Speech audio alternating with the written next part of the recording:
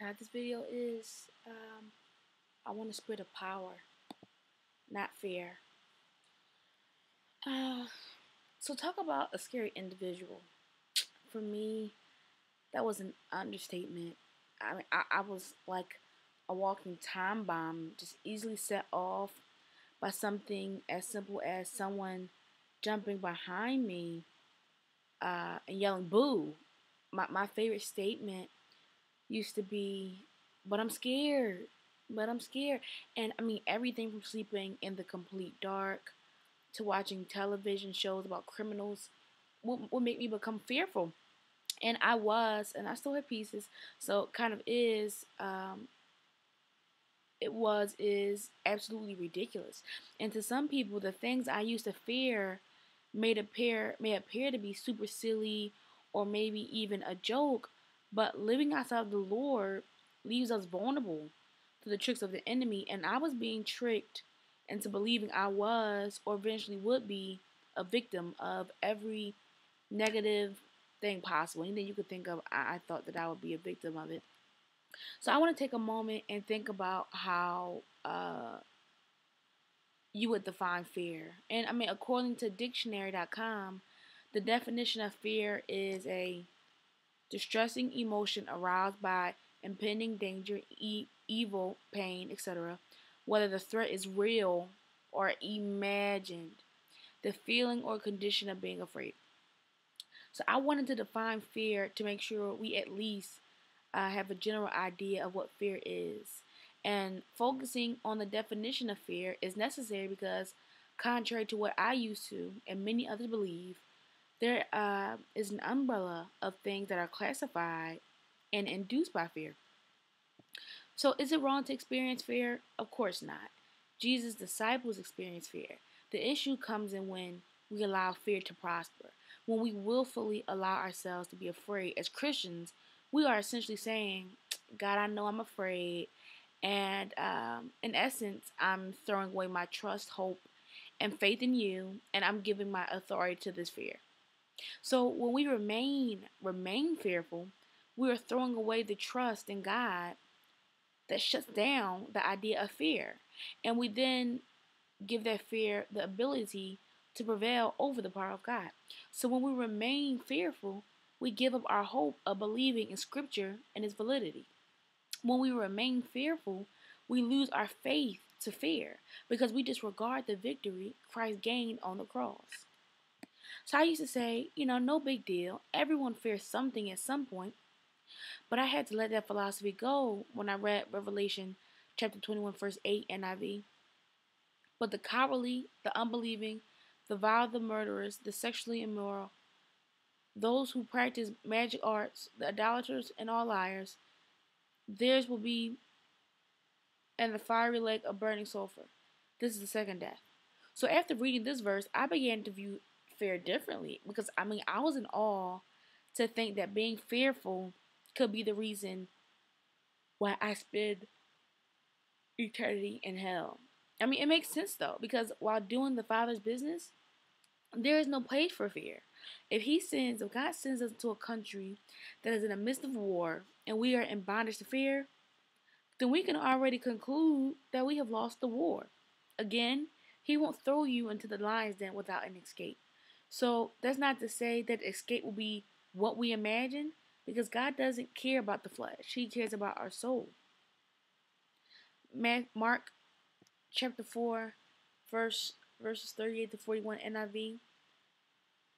That day, when evening came, he said to his disciples, Let us go over to the other side. Leaving the crowd behind, they took him along, just as he was in the boat. There were also other boats with him. A furious squall came up, came up, and waves broke over the boat, so that it was nearly swamped. Jesus was in the stern, sleeping on a cushion. The disciples woke him and said to him, Teacher, don't you care if we drown? He got up, rebuked the wind, and said to the waves, Quiet, be still. Then the wind died down and it was completely calm. He said to his disciples, Why are you so afraid? Do you still have no faith? They were terrified and asked each other, Who is this? Even the wind and the waves obey him. Most importantly, what I extracted from this story in the Bible was that while Jesus slept, he had control over the situation while he was asleep. And now we know that ne- the sleep was necessary for Christ only because he was in the flesh, but we also know that he is now in the heavenly realms and he does not sleep nor does he slumber. Psalm chapter 121 verse 4 Why do we need to fear what do we need to fear when we serve a God who has exercised authority even in his sleep? Thank God man isn't in charge because I know that for myself I am as useful as a log while I sleep. So with this, knowing this, there is no reason to fear anyone or any situation because nothing or no one is too big or too scary to cause us to be fearful. We shouldn't fear people. God tells us to not fear one who can only kill the flesh but cannot kill the soul. And I mean that's a big one for me because when I would hear about crazy killing or kid or kidnapping, uh, I became paranoid that I would be next. So it was bizarre, I know, but all thinking outside of Christ is foolish. So personally, some of my fear came from childhood experiences, but all although those experiences have crippled me with fear for several years, lo and behold, Jesus came to make all things new. So those old experiences cannot keep me in bondage to fear any longer. Thank you, Jesus. Um, Second Timothy chapter 1 verse 7 NLT For God has not given us a spirit of fear and timidity, but a power, love, and self discipline. I have many other verses uh, concerning prayer on the article online. So as I have gotten older, my fears became they became more uh, realistic, you know, a, a little different than fearing the boogeyman. But I certainly have had my share of worry and stress regarding things we face in everyday experiences. So I have a history of worrying about everything health, grades, my career goals, my salvation, everything you could possibly think of, especially things that didn't affect me personally but pertain to family and close friends. So trying to figure out uh, what we worry about is pretty simple, right? I mean, it, I mean, you just kind of think about what you worry about, what you're stressed out about, and, and you know what you worry about. So, um, you can change that. Um, you know, something we're uncertain about or something we feel a little shaky about causes us to worry. No, causes us to fear. So, worrying may come and appear to be just worrying. It's, it's but it's really only another word for fear. But I didn't look at it that way until recently. So why was I worrying? Because I wasn't having confidence in the Lord to provide me with good grades, a career, and to protect my family and friends. I didn't have any control of those things. So, like I mentioned before, experiencing fear is a human characteristic. We have that emotion for a reason. However, the only positive thing that comes from fear is when it's associated associated with having fear and reverence for the Lord. It is respect not tension or anxiety. So my struggle with eliminating all fear out of my life still remains a current struggle because I have been operating with the spirit of fear for so long that Christ um, has to help me identify what I am fearful of and how it affects me from day to day. And I mean, operating in a very loose sense because I was operating in a very minimal sense because fear paralyzes. So I definitely wasn't operating in the way that God means for us to operate. I was merely operating enough to live a functional life, but I wasn't living as if Christ died to give me life more and abundantly. Many of the verses uh, shared in the article are personal and relevant to my personal battle with fear. I spent many days and nights reciting those verses as I had them written on post-it post-its and I had them placed above my bed in my dorm room uh, last semester, uh, actually two semesters ago now. So when I began to feel fearful, all I had to do was look up and recite the scripture. And that was the beginning of coming to know the Lord. And the enemy did everything in his power to manipulate uh, me into thinking that those verses were not alive and active. So my doubt and second guessing fed that manipulation. But I was determined to continue to, to read verses because I knew I had to start from somewhere. So I hoped that once the verses were received by my spirit, the Holy Spirit could begin to be a witness to the scriptures I was reading over and over and over again, just hoping to believe them more than I did the last time I read them. I, I, I would never want Christ to say to me, Oh, you of little faith.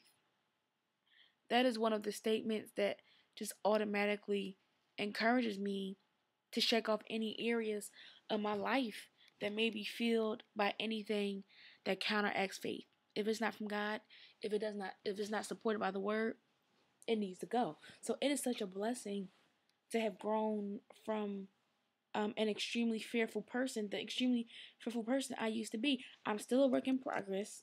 I'm definitely still a work in progress, but I don't find myself unable to sleep because um, of something that's just merely a mental game. I don't encourage anyone to play games with the devil, and I pray that I have the mind of Christ and that I continuously have my mind on good, positive things. So as I go day to day and explore and learn through things, I pray that stress and worry, which sometimes tries to come masked as something other than fear, that they're pushed out of my mind by thoughts of power, love, and a sound mind. I try to keep the forefront of my mind, keep it in the forefront of my mind that God is bigger than all of my fears any and everything that I could possibly worry or stress about, he has all in his hand. I want it out of my presence. I want fear out of my presence because I can't do anything with it. I mean, it, it's trash. So I give it all to God and I make a daily obligation to not ask for it back. Sin is real, and uh, the world uh, tries to make fear been like appear to be normal things like that, but it's not not as a Christian because God has already made promises to us to protect us, to, to, to heal us, all those different things. So we shouldn't be fearful um, merely because as Christians we're supposed to know and believe that God has all in His hand. Not that it'll be done the way that we want or expect, but by His perfect divine will, His plan, His will will be done in our lives.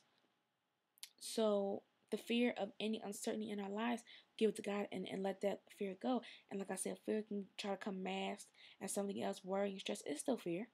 We worry because we fear something. We stress because we fear something. But it's still fear, and God has not given us that spirit of fear.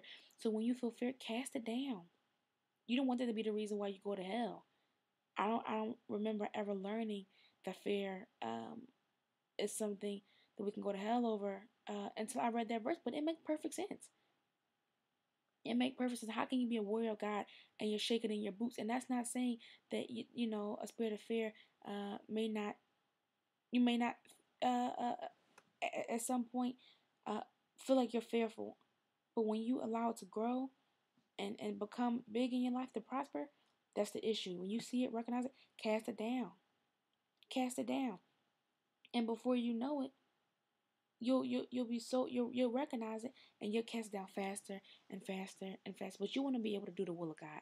You want to be able to be a warrior for God to set the captives free. If the devil knows that there's a, there's a weak place in your life where you fear, he's going to go right for that target. That will make you an ineffective Christian. Ask God to remove that spirit of fear from you. He can do it. He will do it. Like I said, I'm a work in progress. Stress, worry, all those things, I have to give it to God. Trust God. So there's just no place, time, space, or opportunity because I wanna I wanna win souls. I can't be afraid of demons. I can't be afraid of Satan. I have to trust God to take care of all those things. So don't fear and, and just trust in God and give the fear to God. Give your stress and your worry. Like I said, it's an emotion that even the disciples of Christ and they slept with Christ. They slept, you know what I mean, near him. They lived with him. And they have fear. So I mean, it's obviously something that's normal, that's natural. But um, you know, it's not supposed to prosper in our lives. So give your fear to God. Give it to Him and ask Him to take it from you. Um, and, and don't ask for it back. Give it to Him and not look, not don't look back to take it back from Him.